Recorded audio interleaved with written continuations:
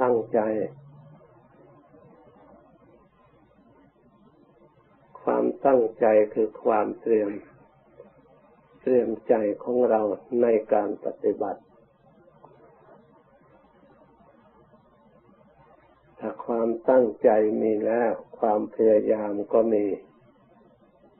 ความพยายามมีแล้ว ความอดทนก็มี สิ่งเหล่านี้เป็น คุณธรรมของการประกอบกิจการงาน เพื่อจะได้บรรลุถึงจุดหมายปลายทาง การงานใด ๆ ถ้าหากความตั้งใจแล้ว การงานเหล่านั้นไม่แน่นอนล้มเหลวเปลี่ยนแปลงไปได้หลายอย่างถึงแม้ว่าตั้งใจแล้วก็ยังผิดพลาด เพราะเหตุนั้น พระพุทธเจ้าพระองค์สอนไม่ให้ประมาทคือความตั้งใจทำอะไรก็ไม่ให้ประมาทถอดธุระอย่านึกว่าง่าย อย่านึกว่าสะดวก แต่เราต้องทำจะงานบางอย่างสำเร็จด้วยการกระทำทางกาย งานบางอย่างแต่เพียงวาจาก็สำเร็จ งานบางอย่างเพียงแต่ใจคิดนึกก็สำเร็จ เพราะเหตุนั้น พระพุทธเจ้าจึงจัดกรรมไว้ถึงสามประเภท จะเป็นส่วนกุศล จะเป็นส่วนอกุศล ก็มีในงานเหล่านี้สำเร็จจากงานเหล่านี้ งานทางกายก็สำเร็จแสดงออกมาทางกาย งานทางใจก็จะ สำเร็จขึ้นทางใจ ให้ผลแก่ทางใจ งานทางกายทางวาจา ให้ผลทางกายด้วยทางใจด้วย งานทางวาจาให้ผลทางใจ ทางวาจาด้วยทางใจด้วย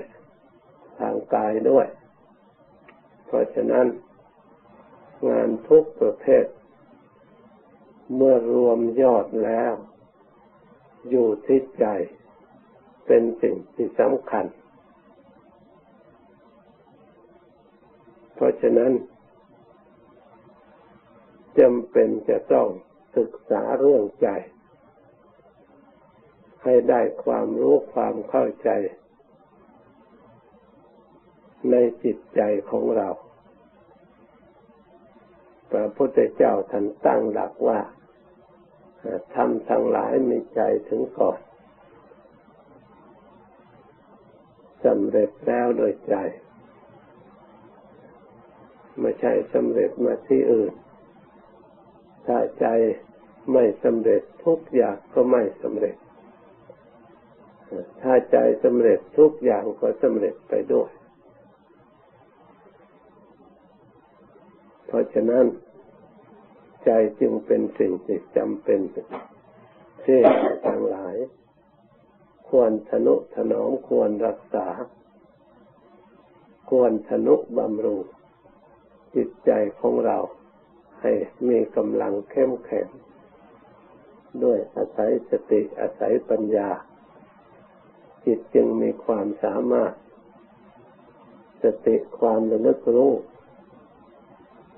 ระลึกใจถ้าสติไม่ค่อยมีความพลังเผลอ ใจก็มีกำลังในทางที่รู้ เข้าไปหาความจดจำเข้าไปหาความจริง เข้าไปหาเหตุให้ระลึกได้อยู่เสมอ เข้าใจอันตรงถูกต้อง เป็นกำลังทางจิตใจในส่วนหนึ่ง ส่วนปัญญาการสอดส่องวิจัย สิ่งที่เป็นอุปสรรคขัดข้องก็ดี เราจะได้วิจัยวิจารณ์ให้เข้าใจทั้งเหตุและทั้งผล เพราะผลที่จะเกิดขึ้นนั้นไม่ใช่เกิดขึ้นลอยๆ ต้องมีเหตุ หลักธรรมคำสั่งสอนพระพุทธเจ้าพระองค์ก็ทรงยกเหตุ พระองค์ทรงแสดงจากครั้งแรกที่เดียว ทรงทรงแสดงเหตุกับผล เหตุทางดีเหตุทางไม่ดี ผลทางดีผลทางไม่ดีตรงใดบรรลุเรียกว่าอริยสัจธรรมอย่างทั้งสี่ข้อทุกท่านมาจากเหตุ คือสมุทัยทุกข์กับสมุทัย สำเร็จมาจากไหน ต้องสำเร็จมาจากใจ มีอะไรถึงก่อน ต้องมีใจถึงก่อน ถ้าไม่มีใจแล้วทุกข์มันจะเกิดขึ้นได้ตรงไหน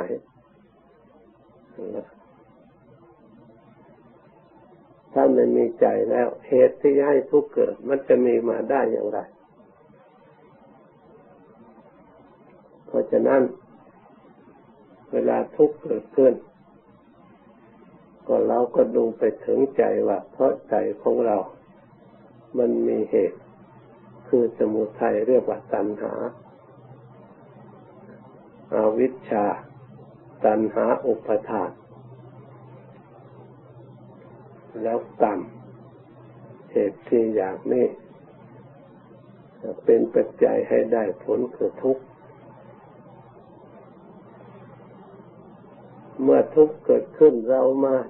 มีสติมีปัญญาสอดส่องด้วยเรียกว่าภาวนา เวลา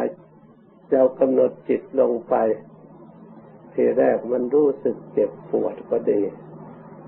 รู้สึกอย่างไรอย่างใดอย่างหนึ่งไม่ค่อยสบายก็ดี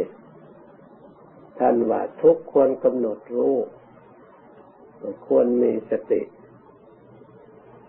การมีสติระลึกทุกท่านก็ว่า เวทนาสุเวทนานุปัสสิวิหารติ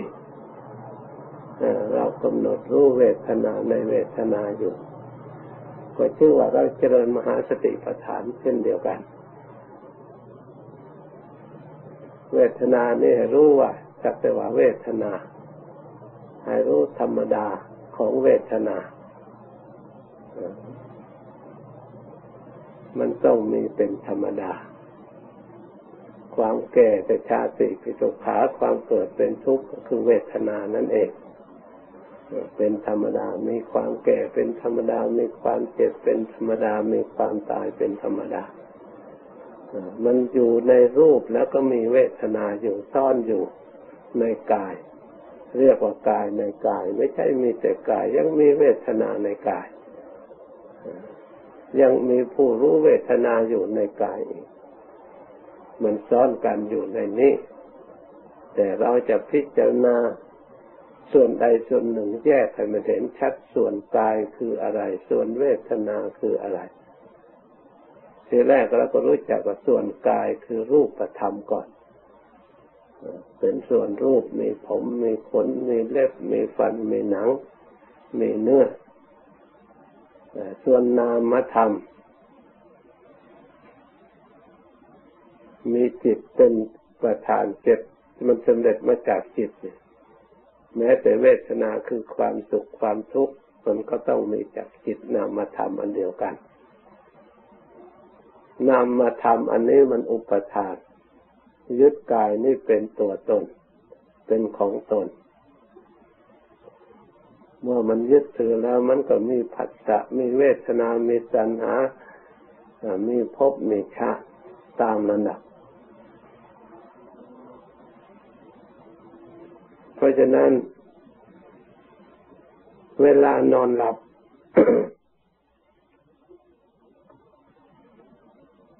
กายก็ยังมีอยู่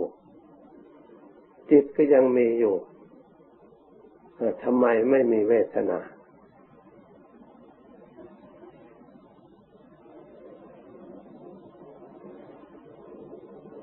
อันนี้เป็นสิ่งที่เราจะพินิจพิจารณา เพราะการนอนหลับนั่น คือผัสสะมันดับ เวทนาอายตนะมันดับผัสสะจึงไม่เกิดขึ้นผัสสะมันดับ เวทนาจึงไม่เกิด คือมันมันไม่รับสัมผัสสิ่งเหล่านั้น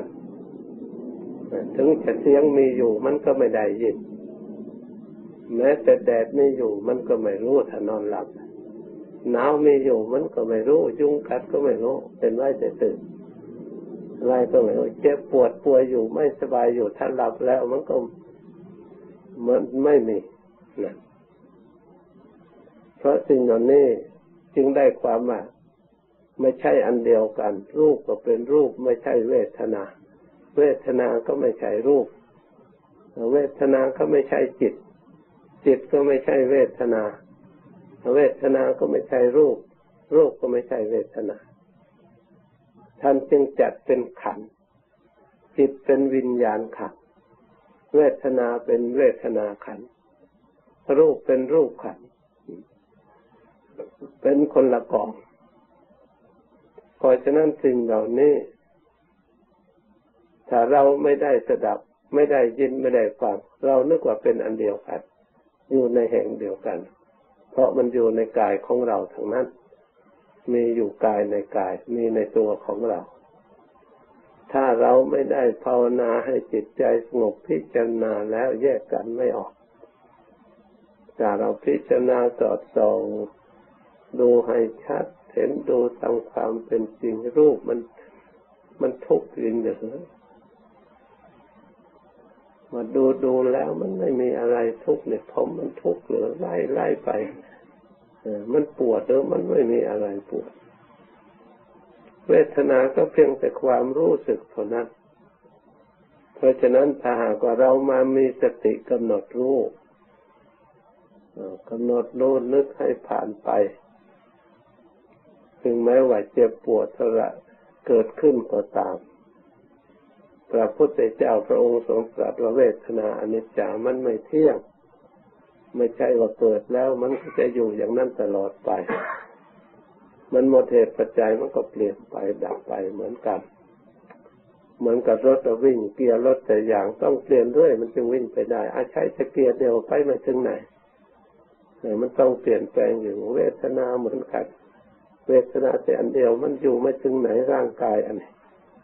มันแตกพังแต่นานแล้ว แต่มันเปลี่ยนสลับกันทำงาน พอมีแรงมันก็นี่มาทำอีก พอมันเหนื่อยมันก็หยุด มันก็ให้อันอื่นโอกาสมาทำงาน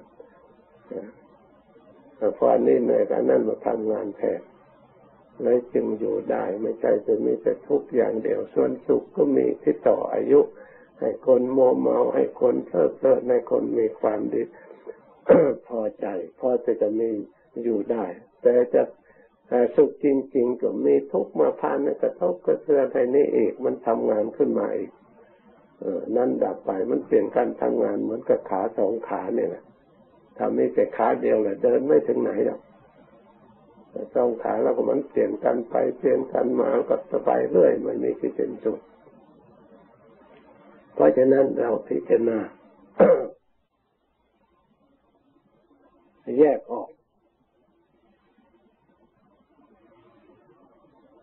ทำจิตใจให้สงบ ปล่อยวางกายไว้กายเป็นสัตว์แต่ว่ากาย ไม่ใช่สัตว์ตัวตนบุคคลเราเขา เรารู้จักมันนั่งเอานั่งอยู่นี่กายมันอยู่นี่แหละ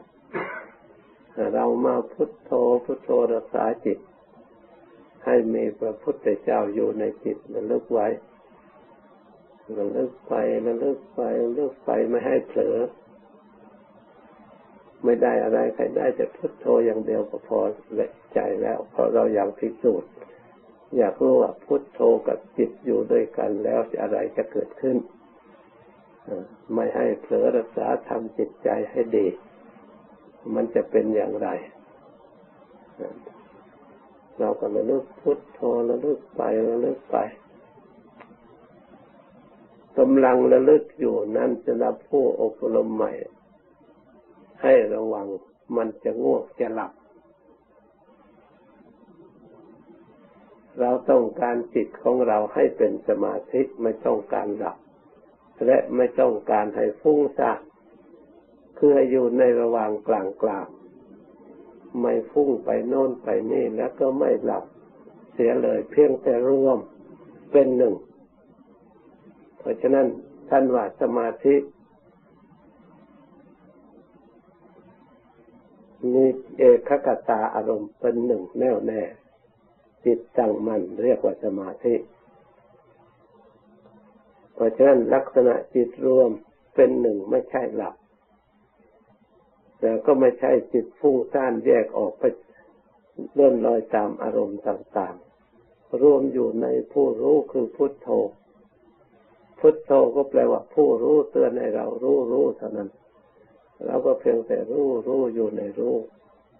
กำหนดรู้ผู้รู้กำหนดรู้อยู่ในรู้สิ่งที่ไม่รู้เราก็ปล่อยวางไว้ก่อนเราสาวผู้รู้ก็ให้เป็นหนึ่ง มันจะเป็นอย่างไรเราไม่รู้ว่าความสุขความสงบสมาธิเป็นอย่างไร เราไม่รู้แหละฝึกใหม่ แม้แต่สมาเองก็เหมือนกันแหละฝึกไปอย่างนั้นแหละฝึกไปสังเกตไปฝึกไปสังเกตไปมันก็ค่อยรู้ค่อยเข้าใจเวลาจิตมันสงบแล้วก็รู้ขึ้นมาอะไรมันมีอยู่ในนั้นมันก็ค่อยรู้เอง จิตมันปล่อยมันวางมันสงบ เวลามันพ้นจากการเจ็บการปวดมันก็รู้ไปตามระดับ บางครั้งก็ปวดจนเลืออดเลือทนจนกระดูกจะแตกก็พลิกไปเอาภาวนาอีกพอปวดเองก็เนื้ออดเนื้อทนก็พลิกไป บางครั้งเราระลึกขึ้นมาเราก็ภาวนามาทุกวันนานพอสมควรเราจะไม่มีบุญไม่มีวาสนาจะพ้นจากทุกข์เลยหลวงปู่ฟันก็เทศให้เอง ท่านว่าภาวนาไปถึงแต่ทุกข์พอได้แต่ทุกข์ก็เอา มันก็มีแต่ทุกข์เราต้องปฏิบัติให้พ้นพอถึงยุดแต่กลัวทุกข์เลยไปหยุดหยุดแต่แค่นั้นไปหยุดแต่เพียงแค่นั้นเลยถอย ได้แต่ทุกข์ก็ถอยได้ถึงแต่ทุกข์ก็ถอย ท่านว่าคำว่าพ้นทุกข์ก็มันต้องข้าม มันต้องไม่หยุดให้มันข้ามไปทุกข์อยู่ข้างหลัง จึงเรียกว่าพ้นแต่ทุกยังอยู่ข้างหน้าแล้วยังไม่พ้นเราก็ยกยกคำสอนของท่านมาพิจารณาเอ้ยจิตของเรานี่มันอ่อนแอมันไม่กล้า มันกลัวเจ็บมันกลัวทุกข์พอมันพิจารณาหลายวันเลยเดือนเดือนมันเห็นมันไม่ได้อะไรไม่เป็นอะไรเอาตายเป็นตายสิตายก็แล้วแต่ ถ้าเราตายเพราะภาวนาเราก็ยังดี ตายในการนั่งภาวนา เราหมอบกายถวายชีวิต บูชาพระธรรมถ้าจะได้รู้ตายก็ตาย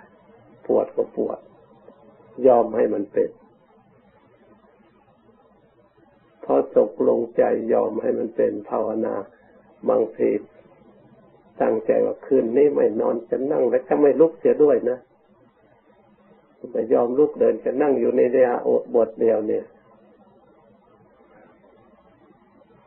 เมื่อตั้งสัจจะแล้วต้องเอาจะทำลายถ้าหากเรากลัวแล้วเราไม่ต้องตั้งสัจจะพอเรายอมเท่านั้นเนี่ยไม่มีคู่ต่อสู้ทุกมันก็ไม่อยู่ได้เท่าไหร่มันก็พอเรายอมให้มันเป็นปล่อยให้มันเป็นอย่างเดียวคอยคลายไปคลายไปคลายไป เวลาจิตเขาไปตั้ง มั่นเที่ยงอยู่ตอนนั้นที่มันทุกข์มาก ๆ ที่เราพยายามสอดส่องตั้งสติระลึกรู้ให้มาก เวลามันผ่านพ้นไป มันได้ความสงบความสุขเราก็พอที่จะรู้ได้ โอ้ทุกข์คืออย่างไร เราข้ามทุกข์กันดานขนาดไหน เราก็รู้เนี่ยเพราะเราเราได้ปฏิบัติ และจนถึงความสงบจนถึงความสุขสุขความสงบมันอยู่ได้นาน เวลามันเอาจริงๆเนี่ยมันเป็นอัตโนมัติมันก็เครื่องเครื่องเราขับรถเครื่องยนต์เนี่ยเวลาเราสตาร์ทติดแล้ว มันมันก็เดินเองเราไม่ต้องสตาร์ทเองมันก็ทำงานของมันเอง เราก็คอยจะดูพวงมาลัยมันไปทางไหนทางไหนเราก็เพียงจะดูเท่านั้น จิตถ้าตั้งมั่นเป็นสมาธิแล้วที่มันติดต่อกันแล้วที่มันนี่แหละกำลังมันมีมากเท่าไหร่มันก็อยู่ทำงานให้เราได้ชื่นชมได้รับรสของสัตธรรมเหล่านั้น แม้แต่เดิน แม้แต่ยืน แม้แต่นั่งไปที่ไหน มันก็พระเวยผล จึงระลึกได้ว่าพระสัมมาสัมพุทธเจ้าเมื่อพระองค์ตรัสรู้ใหม่ ๆ พระองค์อยู่ในปีติสุขนั่งอยู่เจ็ดวันเดินอยู่เจ็ดวันยืนอยู่เพ่งดูต้นประสีมหาโพธิ์โดยที่พระองค์ได้ตรัสรู้โดยความปิติอยู่เจ็ดวัน หมุนเวียนกลับไปอยู่ที่นั่นเสวยวิมุตติสุข ที่พระองค์ได้ทำทุกขกิริยาต่อสู้กับพยามาร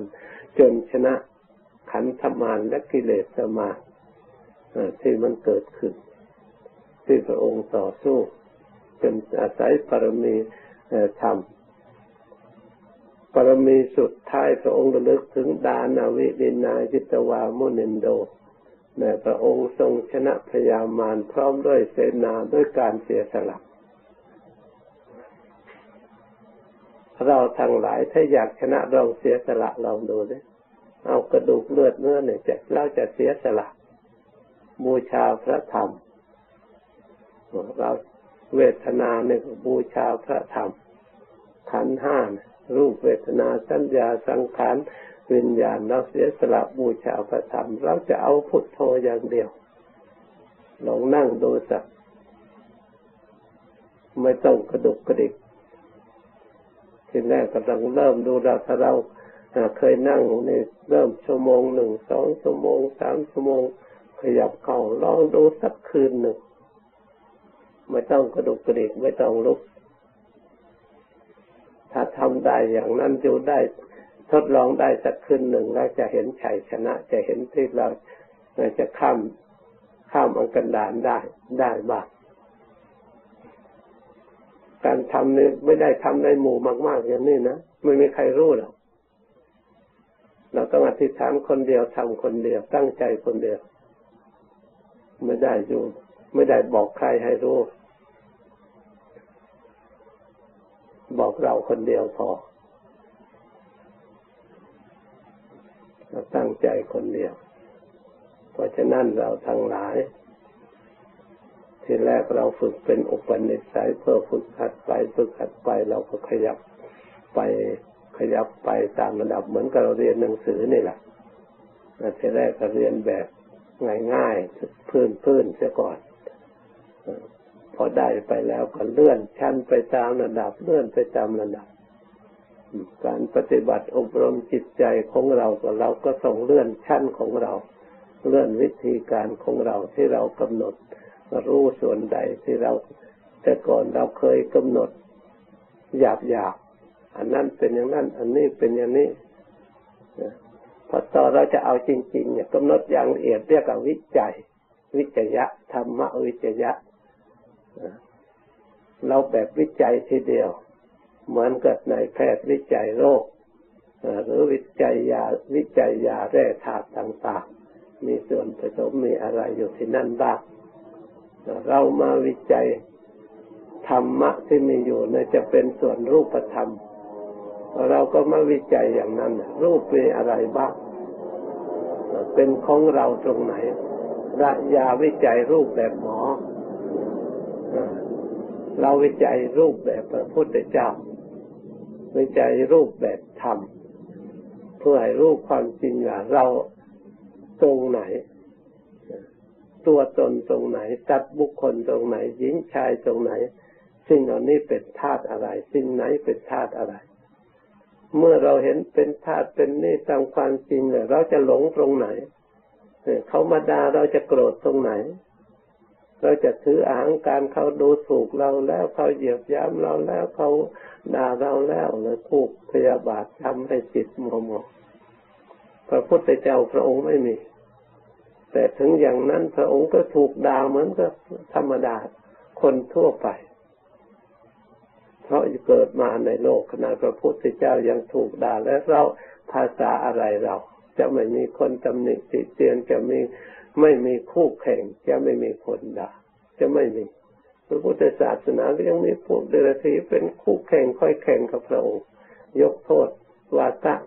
วาทะของพระองค์สูงของตนมาสูงกว่าพระองค์พระองค์อยู่อย่างนั้น สิ่งเหล่านี้มันมีอยู่ประจำโลก แต่พระองค์จะหวั่นไหวอะไร เหมือนกับสุนัขเอาเครื่องบินมันจะไปกัดตรงไหน คนที่เปลี่ยนพระพุทธเจ้าก็เหมือนกันแหละพระองค์ไม่ได้หวั่นไหว เราถ้าพิจารณาให้ถึงธรรมดังกล่าวมานี่ดูเป็นวิจัยเขาเราวิจัยอย่างละเอียดถึงขั้นตอนวิจัยเรียกว่าวิปัสสนา ต้องวิจัยเลย เมื่อจิตได้สงบได้กำลังพอสมควรที่รู้จักแล้วเราก็เข้าวิจัยวิจัยสอดส่องไปถ้าวิจัยไปวิจัยไปรู้สึกว่าจิตจะฟุ้งซ่านจะไปไม่แน่นอนเราก็สงบคอยรวมรวมสบายสงบไปไว้ก่อนเมื่อสงบแล้วก็เราก็วิจัย การวิจัยนี้วิจัยไม่เฉพาะแต่การนั่งอย่างเดียว แม้แต่เรายืนเราเดินทำการงานเมื่อมีโอกาสเมื่อไรเราก็วิจัยต่อเนื่องให้รู้จริงขึ้นมา เพราะเราต้องการรู้เนื้อแท้ธาตุแท้คือธาตุความจริง ถ้าจิตใจมันชัดในธาตุความจริงแล้ว มันจะลบล้างสมมติลบล้างโลก ลบล้างที่คำว่าสัตว์บุคคลตัวตนเราเขาหญิงชาย ไม่มี นั่นของเรานี่ของเราเพียงแต่สมมติมันรู้เท่า แต่ในใจนี้มันปล่อยวางไม่ให้เป็นภาระแต่เมื่อมีชีวิตอยู่ในโลกโลกเขาเคยมาอย่างไรท่านก็ไม่แสดงอย่างนั้นทั้งก็อยู่แบบโลกธรรมดานี่แหละแต่ไม่มีกิริยา ความสำคัญมันหมายในสิ่งนั้นถึงแม้ร่างกายจะมีกระทบกระเทือนเหมือนกับโลกธรรมดา แต่จิตใจเนี่ยมันเปลี่ยน มันเปลี่ยนจิตใจ เพราะมันสำเร็จมาจากใจ ไม่ใช่สำเร็จมาจากกายท่านแต่งแต่ใจของท่านเป็นผู้สำเร็จเป็นผู้ตรัสรู้เป็นผู้เห็นผู้สิ้นกิเลสผู้สิ้นอสวะจิตดวงเดียวเท่านั้นส่วนขันห้ามันไม่รู้อะไร มันไม่สิ้นอะไรเพราะฉะนั้น เราทั้งหลาย สติของเราก็มีแล้ว ปัญญาของเราก็มีแล้ว ถ้าเรามาปรับปรุงให้มีกำลังขึ้นมา เป็นมหาสติมหาปัญญาขึ้นมา เราก็สามารถที่จะรู้เห็นตามความเป็นจริงได้ ไม่ใช่ว่าเป็นของไม่มี มันมีอยู่แล้วแต่ สติปัญญาของเรา ยังไม่มีกำลังเฉียบแหลมพอ หรือแหลมคมพอ เพราะฉะนั้นจึงพากันอบรมสมาธิ เพื่อให้จิตใจหนักแน่นแหลมคมสามารถวิจัยวิจารณ์สิ่งใดให้มันรู้ความจริง ให้เข้าเกณฑ์กับความจริง ถ้าเราปฏิบัติอย่างนี้จิตใจของเราก็หนักแน่นมั่นคง รู้เหตุรู้ผลเชื่อในเหตุในผล ปฏิบัติต่อเหตุผลตามความเป็นจริง เราก็จะได้สงบระงับดับจากทุกข์จากเวรจากภัยทั้งหลายทั้งปวงเราจะได้ถึงซึ่งความสุขที่แท้จริง เพราะฉะนั้นการบรรยายธรรมอบรมสมาธิในวันนี้จึงสมควรแก่เวลาหยุดตรงนี้ก่อนกำหนดจิตภาวนาต่อไป